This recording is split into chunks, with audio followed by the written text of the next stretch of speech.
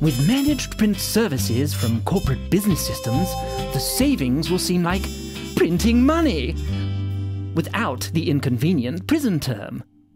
Use your printer to make legal tender only with MPS from Corporate Business Systems.